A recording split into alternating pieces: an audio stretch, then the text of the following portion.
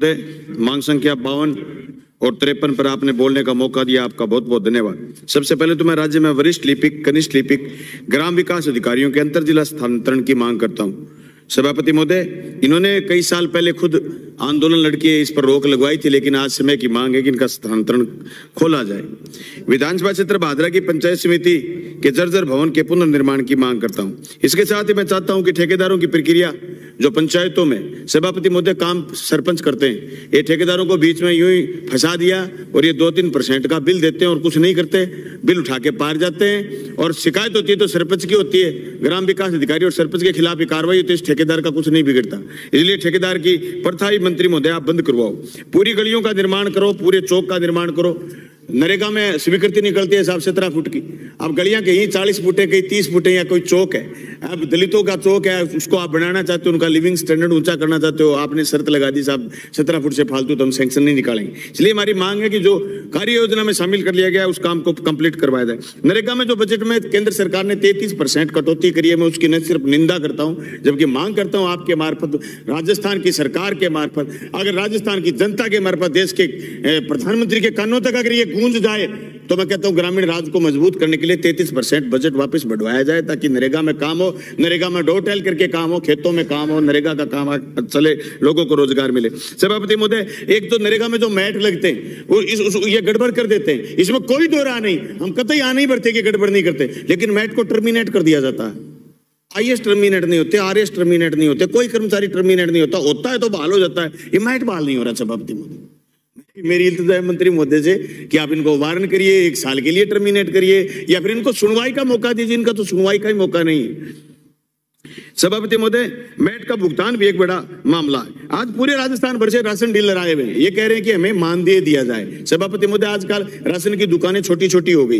ये गड़बड़ी नहीं करे इसके लिए सरकार इनका न्यूनतम मानदेय तो तय करे ही करे, ताकि इनका जीवन यापन हो सके। पंचायतों की निजी आय पर, जो आज जिला परिषद ने लेटर निकाल दिया, हनुमानगढ़ की जिला परिषद कि आपकी गाँव में एक जोड़ है, जोड़ में मछली पालन होगा, और उसका उसका ठेका है ना, वो जिला परिषद करेगी। सभापति महोदय, पंचायत के पास इतनी सी आमदनी होती है कि निजी काम में स्कूल में रंग रोगन की बात, अभी कोई अर्जेंट कोई ट्राली मिट्टी की डालनी पड़ गई, कहीं समतलीकरण का काम आ गया। पंचायत के पास निजी आय का एक ही साधन था। उस साधन पर जिला परिषद ने जिस तरीके से अपना डाका डाला है इसको बंद कराया जाए और पंचायत के ही काम रखा जाए। पीएम आवास योजना में लोगों के नाम कट जाते हैं, सभापति महोदय। लिस्टों में चेंज हो गया। अब गाँव में हम जाते हैं जन सुनवाई करने के लिए। गरीब आदमी कहते हैं, हमारा, हमारे को मकान दिलवाओ। मकान कहाँ से दिलवाएँ? मकान तो कह रहे हैं कि साहब, लिस्ट तो फिर दोबारा इतने साल बाद बनेगी। इसलिए मेरी मांग है कि मुख्यमंत्री आवास योजना शुरू करी जाए, ताकि लोगों की हम मांग पर काम कर सकें। जिला परिषद सदस्य पंचायत समिति सदस्य प्रधान और प्रधान के मानदेय तय करे जाए, चौकीदारों को सुविधा कर्मी के रूप में लिया जाए। पक्के कामों में ऑनलाइन हाजिरी की जो व्यवस्था करी गई, इससे काम में रुकावट आई है, इसलिए पक्के कामों में ऑनलाइन हाजिरी नहीं करी जाए।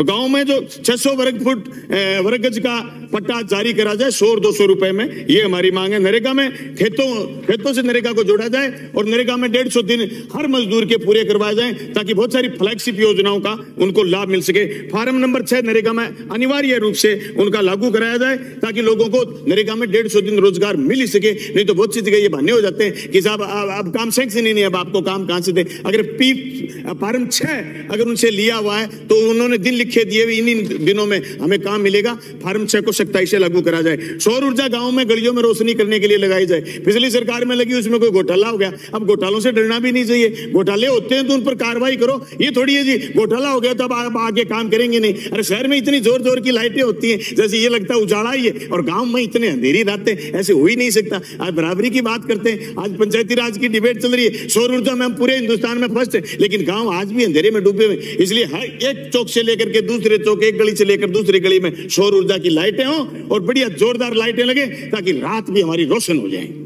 एस सी के मोहल्लों में, खास करके इंटरलॉक और गलियों की स्वीकृति निकाली जाए। मैं मांग करता हूँ मेरी विधानसभा क्षेत्र के ग्राम पंचायत रासलाना, ग्राम पंचायत नेठाना रामगढ़, अजीतपुरा, शेरडा, गेहूँ, दीपलना बरवाड़ी भरवाना बनाई कलाना किराड़ा बड़ा अनूप शहर सुवाड़ा, ये बड़े गाँव है अंबेडकर सामुदायिक भवन बनाए जाए।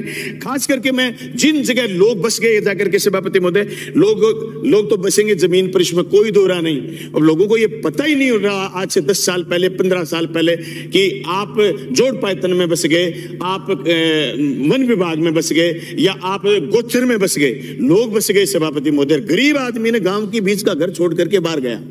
अब मकान बना लिया, अब उसको नए पीएम आवास योजना का फ़ायदा मिल रहा है न कोई दूसरी योजना का फ़ायदा मिल रहा है न उसका पट्टा बन रहा है न उसको लोन मिल रहा है। जहाँ जो बसे, उन लोगों को वह पट्टा दिया जाए, राजस्थान सरकार इस चीज़ का हल निकाले, ये जनता से जुड़ी हुई बात है, हम लोगों से जुड़ी हुई बात है। सभापति महोदय, लोग एक दूसरे की बिगड़ जाती है आपस में, एसएलपी में चले जाते हैं और जाकर के आदेश करा लाते हैं, साहब की मकान तोड़ दो। साहब, किसी का अरमान टूटना है, मकान टूटना।